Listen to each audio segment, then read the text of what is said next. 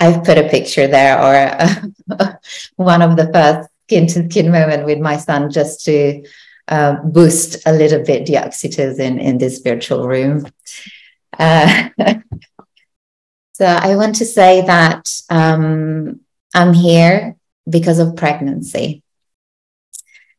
And I'm here because pregnancy made me realize I had all the rights to be a creator.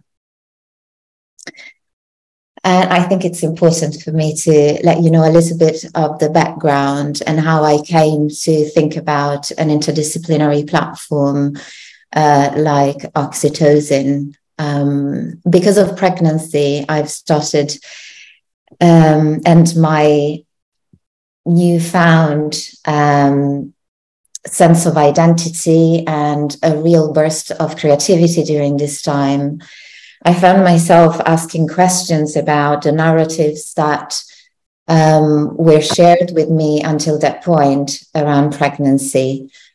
Um, and I was, I'm thankful for having been um, displaced from my country of origins. I'm from the south of Italy into a new place and that kind of um, almost empty space because when i arrived in the uk i didn't know anybody. It allowed me to create my own narratives around the experience that i was in. Um, but i've also realized how the visual narratives and the, the, the information around this time and this state were deeply um, negative uh, and they were not reflecting how I was really feeling at the time. And so I've started. The only way that I had to make sense of what was happening for me was starting to look for a community and start talking with other people. Um, and that's how Procreate, Procreate Project started. And from this burst of creativity and the shared experiences with other other, other people and other artists, that little baby you know light bulb came about. Um, and that's how i started connecting um, more in practical terms my experience the experience of other people and um, starting putting them together into different containers that could provide a different representation for um, for the experience of pregnancy at the time and then I gave birth.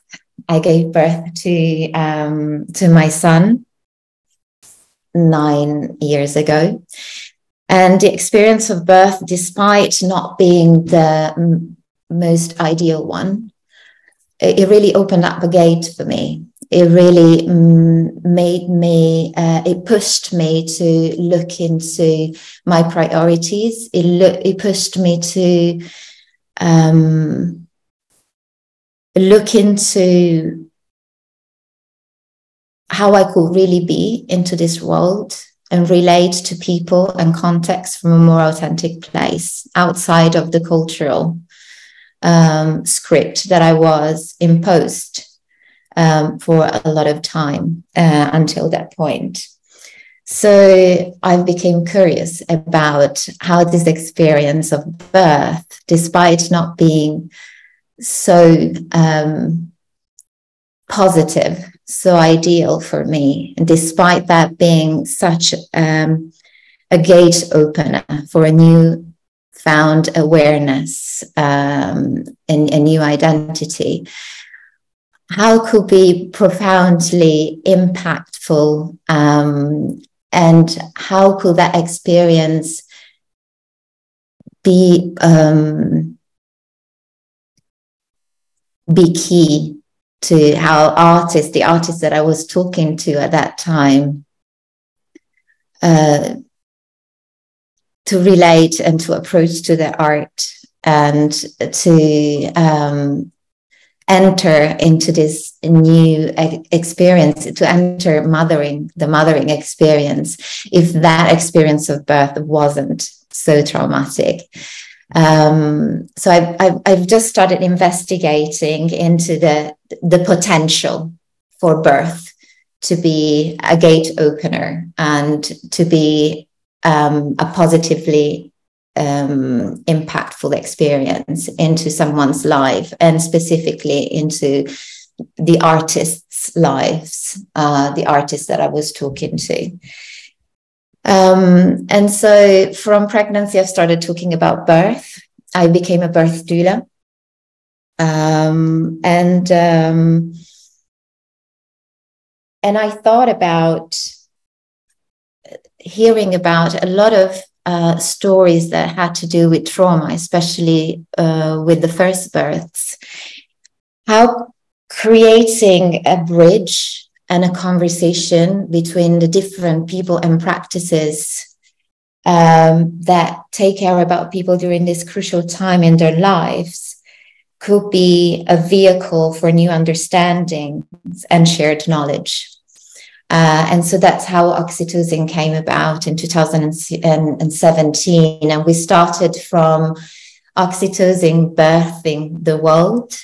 And the focus there was really about giving space to different choices, representations of pregnancy, of birth, and uh, the postnatal period. Uh, creating a, a, container where a lot of practices could come together uh, and being in a space where um, different manifestations uh, from this experience could be shared and could be witnessed. Um, we were at the Royal College of Art. And then going for further, um, I realized, and we talked, uh, we talked a lot about the biases that exist within um, the different systems that provide care. So we started looking into language, into LGBT plus rights, into reproduction politics. We started looking into race and disability. And so Oxytocin Mothering the World back in 2019 at King's College and this year between Middlesex University and the Science Gallery really wanted to create a space as well for all those experiences and all those concerns and hopes that we have for a better experience of birth for all the marginalized communities and all the stories that um, are still not uh, heard enough. So,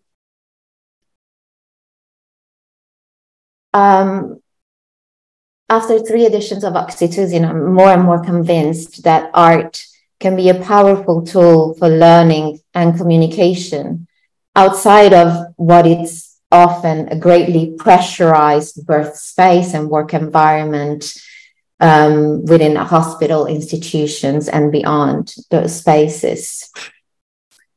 Um, a lot of times, the people giving birth including um, the 34 performance artists that have contributed to the three editions of Oxytocin in the past years, weren't in the, in the position to communicate what was happening for them when they were in the birth room. It takes time, it takes processing. And in this case, art to understand that for themselves and to communicate that to other people. So the element of the live art that I've decided to integrate within the context of um, oxytocin, the oxytocin platform, it's there because it brings the lived experiences at the center. It brings an element of ritual and healing practices that can be collectively shared and witnessed. So many of the performances that we have seen during the last um, three editions, also, and especially in the last one this year, brought also with them all the voices and experience of other people, integrating them in piece in their piece of art, amplifying in that way the urge for services and systems providing care to listen Uh, so these are some images of the work that I've contributed to the different programs. And what it has been incredible is that bringing these stories, these voices, this different manifestation of pain, joy, and birth it's, it's really brought people closer.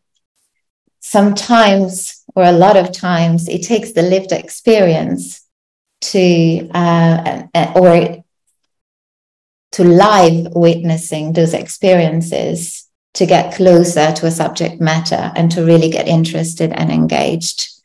And I think that um, I'm sure Laura will confirm the success of this platform is to really bring together different voices and bring a new platform where learning is not just on a script. Learning doesn't come from books, which uh, have been also created with certain bias within that, within words.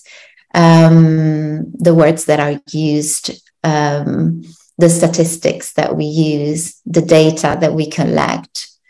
It brings together a new way to really reconnect to the human experience, reconnect to each other and create a possibility for change for some for a shift that starts from the inside from the individual and then a change that is brought into the collective through everyone's lives and work as carers. This was one of the works that we have experienced this year. And it was talking about Rubian's experience of giving birth as a, a Black woman migrant um, in this country. And he brought together a lot of other testimonials. And together with these works, art and this interdisciplinary platform have the power to also shift the visual narratives and the representations in media that we have of this experience.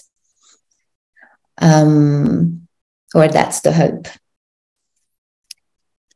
Within this platform, we've also decided to integrate um, practical workshop like the maternal journal, uh, which Laura will be talking about um, after after me. Um, design making, art manifestos, poetry, and that brought within this context the opportunity not just for the artist to share and to use art as um, a tool for healing and processing and uh, and for uh, voicing messages, but for all to experience the power of, of interdisciplinarity as a tool for um, collective healing and care.